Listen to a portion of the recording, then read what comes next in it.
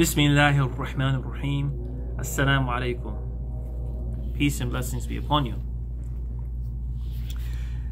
In the fifth chapter of the, of the Quran, we have a very interesting story.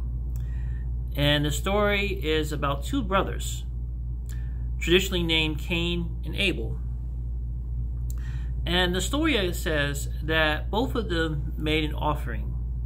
Karraban Qurbanan. They both made an offering. And the story says that the offering was accepted from one and not accepted from the other.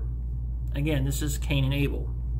Now, the one from whom the offering was not accepted, meaning Cain,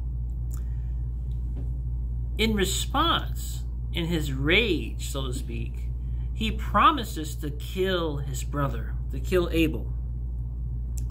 And Abel's response is to not, not make any reaction at all out of a sense of fear or awe of God. And the Quran goes on to say that in fact, Cain carried out his promise. He killed his brother, he kills Abel. And that a, after some time, a crow comes along, scratching on the ground, teaching Cain how to bury his brother, the brother that he had just murdered. Now, the Quran says that he was among those who had regrets. Cain regretted his actions. Now, there are many lessons from this particular story that are worth exploring, but the one that we're going to focus upon in this particular recording, and inshallah in future recordings, we'll look at other aspects, is that the scholars have pointed out something very important. Is that yes, it says that Cain regretted, he was among those who re- he regretted his actions but it doesn't say he repented for his actions. Those are two different things. Again, regret and repentance are two different things. Regret is something which is felt on the inside. And admittedly, this is something that all humans go through at one point or another, unless, of course, a person has serious spiritual diseases such as narcissism. So, regret is something which is felt on the inside while repentance is something is something that expresses regret both internally and externally.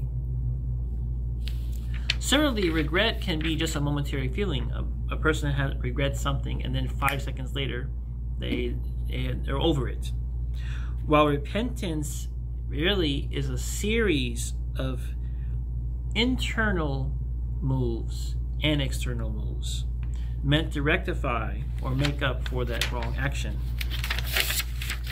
Now, the Quran, in another place, regarding another story, the story of Adam and Eve, it says that they did this action. In this case, they disobeyed Allah, they disobeyed God, and ate of the forbidden tree, forbidden fruit. And it says that they regretted their action, or excuse me, that they uh, repented for the action. But not only that, فَتَلَقَّى آدَمُ مِنْ رَبِّهِ كَلِمَاتٍ فَتَابَ عَلَيْهِ إِنَّهُ هُوَ التَّوَّابُ الرَّحِيمُ So not only that they regretted or that they repented, but Allah taught, God taught them how to repent. How to repent. And in the seventh chapter of the Quran, it actually contains those words. And those words, if you allow me to say them in English first, it says, Our Lord, we have wronged ourselves. If you do not get grant us forgiveness, if you do not grant us mercy, we shall be among those who are experiencing tremendous loss. ربنا ظلمنا أنفسنا وإن لم تغفر لنا وترحمنا لَلَكُنَّنَا مِنَ الْخَاسِرِينَ These are the words. And pay attention to the first to the opening expression in those words. Rabbana thalamna anfusana. Our Lord, we have wronged ourselves. So this vocalizes the regret. This puts it out there. This vocalizes the regret in the presence of God and arguably in the presence of our own selves. Once it's put out there, then the foundation is made in order to make amends. This is the core point. This is the core point.